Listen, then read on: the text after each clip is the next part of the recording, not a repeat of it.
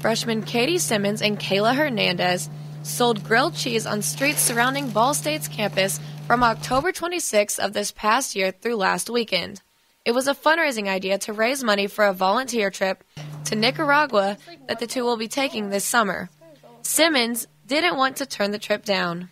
They talked about how we'd be working with the kids and we'd be working with like the sanitary stuff, like teaching them like recycling and doing all that stuff, and then also like building schools. Hernandez said the first night was their best night, and the success continued from there.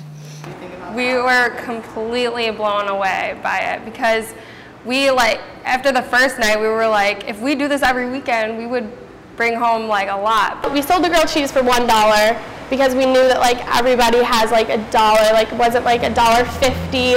Simmons and Hernandez raised $800 total through their fundraising efforts selling grilled cheese here at Ball State. Now they are continuing those efforts.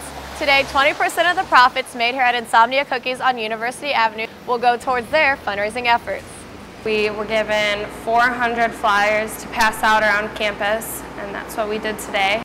Simmons and Hernandez will continue trying to raise money this summer through garage sales, promoting through their Twitter page, and more. We weren't exactly sure if we were going to make it, but now we're like, we're going to do this, we're ready. Simmons and Hernandez will leave July 27th for Nicaragua and return on August 10th. In Muncie, Ashley Reed, Newslink, Indiana.